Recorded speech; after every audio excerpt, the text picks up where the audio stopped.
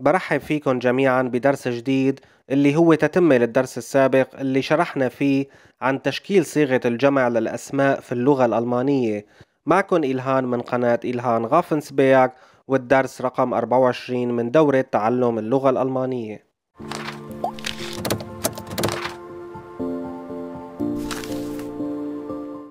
نبدأ بدرس اليوم. درسنا في المستوى المبتدئ Grundstufe مستوى A ضمن المستوى الأول في اللغة الألمانية مستوى A1 القسم الثاني 2 إذا درسنا اليوم هو تتمة للدرس السابق بعنوان der Plural الجمع فيها 24 الدرس الرابع والعشرون. سنتعلم في هذا الدرس رح نتعلم بدرس اليوم جمع الأسماء المذكرة والمؤنثة والحيادية بإضافة اللاحقة النهاية A إذا درسنا في المستوى A1 2 der Plural الدرس رقم 24 الجمع. منبدأ بالفقرة الأولى من درس اليوم. عندي هون عنوان تشكيل صيغة الجمع. Die Bildung der Pluralform تشكيل صيغة الجمع. Die Bildung der Pluralform منشوف هون القاعدة. تجمع معظم الأسماء المذكرة والحيادية وبعض الأسماء المؤنثة بإضافة الحرف A لآخر الاسم. إذا في اللغة الألمانية تجمع معظم الأسماء المذكرة والأسماء الحيادية بإضافة الحرف A لآخر الاسم وأيضا بعض الأسماء المؤنثة. إذا معظم مو كل لكن معظم الأسماء المذكرة والحيادية تجمع بإضافة الحرف A لكن فقط بعض الأسماء المؤنثة أيضا تجمع بإضافة الحرف A. إذا معظم الأسماء المذكرة والحيادية بعض الأسماء المؤنثة بإضافة الحرف A. إذا تجمع بإضافة الحرف A لآخر الاسم. منشوف هون لكن بالنسبة لبعض الأسماء المذكرة وكذلك المؤنثة فإن حروف العلة التالية فقط مين هنن نفسهم اللي مروا معنا في الدرس السابق. آ أو أو تقلب غالبا إلى حروف إمالة إذا فقط بالنسبة لبعض الأسماء المذكرة وكذلك المؤنثة فإذا كان في عنا حروف العلة التالية تقلب غالبا إلى حروف إمالة إذا مو كل كمان بعض الأسماء المذكرة وكذلك المؤنثة فإن حروف العلة التالية تقلب غالبا إلى حروف إمالة طبعا بالإضافة للاحقة A ممكن كمان تنقلب حروف العلة التالية هون الثلاثة لحروف إمالة إذا فقط هالحروف العلة الثلاثة. حروف العلة مثل ما تعلمناهم في بداية دورة تعلم اللغة الألمانية هن خمسة بالإضافة للحرف A E لكن هون ما عنا ياهن عنا فقط هالثلاثة اللي هن A O U. منشوف مع بعض أمثلة لتتوضح الفكرة أكثر عندي هون اللاحقة A أو النهاية A أو الحرف A. راح نشوف مع بعض أمثلة. عندي هون بايشبيل مثال. عندي هون زينجولا مفرد وعندي هون بلوغال جمع. منشوف مع بعض المثال. ديا مونات. ديا مونات. الشهر. إذا عندي هون اسم مفرد مذكر. أداته ديا. ديا هي أداة التعريف للاسم المفرد المذكر. ديا مونات. ديا مونات. الشهر. جمع الاسم هون بإضافة اللاحقة أو الحرف A. بصير عندي هون دي مونات دي مونات الشهور. إذا جمعنا الاسم المفرد المذكر هون بإضافة اللاحقة A وبالتالي صار عندي هون جمع وتغيرت عندي الأداة صار عندي هون الارتيكل هو دي هي أداة التعريف لجمع الأسماء في اللغة الألمانية دي صار عندي هون دي مونات دي مونات الشهور. منشوف مثال آخر. عندي إذا هون كمان اللاحقة E أو الحرف E اللي هي قاعدة درس اليوم. عندي هون Beispiel مثال. بنشوف هون مع بعض. das Boot das Boot القارب. وفي هون رسم توضيحي. إذا عندي هون اسم مفرد حيادي أداته das das هي أداة التعريف للاسم المفرد الحيادي. جمعنا الاسم هون بإضافة اللاحقة أو الحرف E. صار عندي هون die Boote die Boote القوارب. إذا منلاحظ هون إني انضاف للاسم اللاحقة E وبالتالي تحول لاسم جمع معناه صار القوارب. وفي هون رسم توضيحي بالإضافة لل Artikel اللي هي die اللي هي أداة جمع الأسماء. إذا كل الأسماء في حالة الجمع أداة die هي أداة مشتركة لكل الأسماء فقط في حالة الجمع. إذا صار عندي هون die Boote die Boote القوارب. ننتقل لمثال آخر. عندي هون اللاحقة E أو الحرف E اللي هي موضوع درس اليوم. عندي هون بايشبيل مثال عندي هون الاسم المؤنث الاسم المفرد المؤنث دي كو دي كو البقرة. إذا في هون رسم توضيحي. إذا عندي هون اسم مفرد مؤنث أداته دي دي هي أداة التعريف للاسم المفرد المؤنث. دي كو دي كو البقرة. منجمع الاسم هون بإضافة اللاحقة A ويقلب الحرف العلة هون حرف الأو لحرف أملاوت. إذا منضيف له نقطتين في الأعلى بصير أملاوت.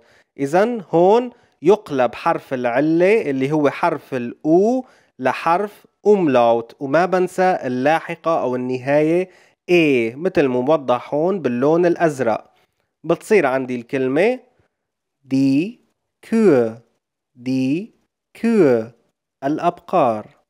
إذا تشكلت عندي هون صيغة الجمع بإني ضفت اللاحقة A وقلبت الحرف العلة اللي هو أو لحرف أملاوت هيك بتكون تشكلت معي صيغة الجمع. منشوف مثال آخر. عندي هون بايشبيل مثال. عندي هون اسم مفرد مذكر ديا بل. ديا بل معناه الكرة. إذا هون اسم مفرد مذكر أداته ديا ديا هي أداة التعريف للاسم المفرد المذكر. عندي هون ديا بل. ديا بل.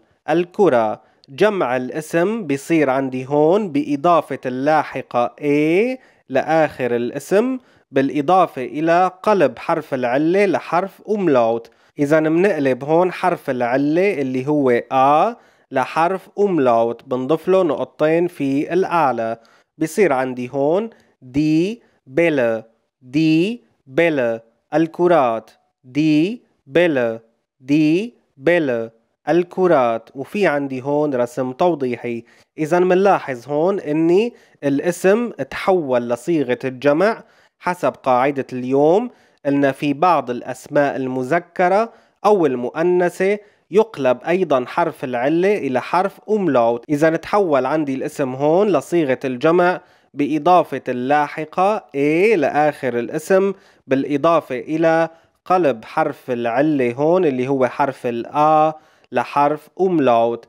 إذا مثل ما تعلمنا بدرس اليوم حسب القاعدة تبع درس اليوم إني في عندي بعض الأسماء المذكرة بعض الأسماء المذكرة وبعض الأسماء المؤنثة يقلب حرف العلة إن كان آ أو أو أو أو إلى حرف إمالة إذا فقط في حالة الأسماء المذكرة والمؤنثة. بالإضافة للاحقة A يقلب أيضا حرف العلة إلى حرف أملاوت إذا مو شرط الكل لكن بعضهم يقلب فيهم حرف العلة إلى حرف أملاوت ننتقل للفقرة التالية.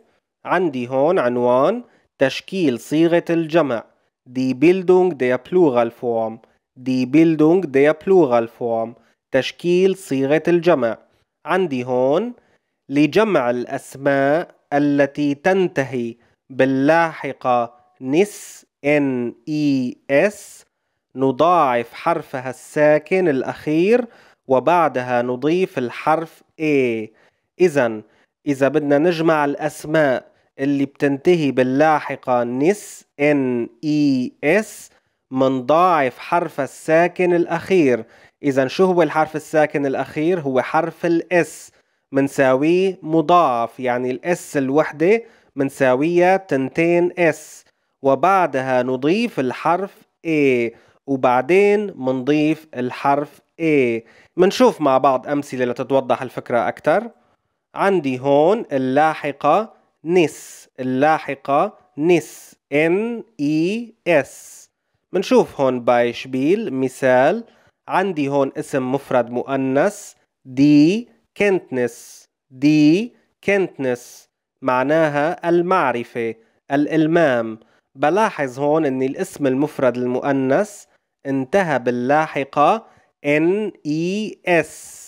وبالتالي لما بشكل صيغة جمعه بضاعف الحرف S اللي هو حرفه الساكن الأخير وبعدين بضيف اللاحقة A. بصير عندي الاسم في صيغة الجمع دي كنتنسة دي كنتنسة المعارف. إذا في هون رسم توضيحي. إذا ضاعفت الاس هون اللي هي الحرف الساكن الأخير وبعدين ضفت اللاحقة A. اللي هي قاعدة درس اليوم.